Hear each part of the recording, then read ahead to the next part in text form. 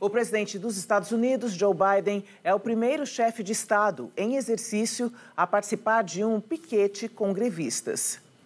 E se uma greve ganha fôlego, outra chega ao fim. Após quase cinco meses, terminou hoje a paralisação dos roteiristas de Hollywood.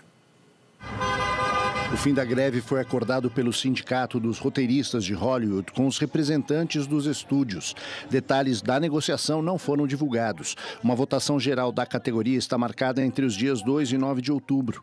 Entre as reivindicações estavam salários melhores e regras sobre o uso da inteligência artificial na composição do material literário.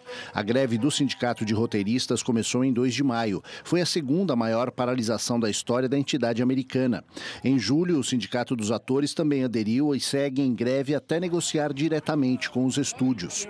Uma paralisação chega ao fim, outra ganha apoio inusitado. Ontem, em Michigan, o presidente dos Estados Unidos, Joe Biden, se encontrou com operários da indústria automotiva. Três grandes empresas do setor estão em greve desde 15 de setembro. Segurando o megafone, Biden pediu para os grevistas continuarem porque eles merecem aumento e outros benefícios.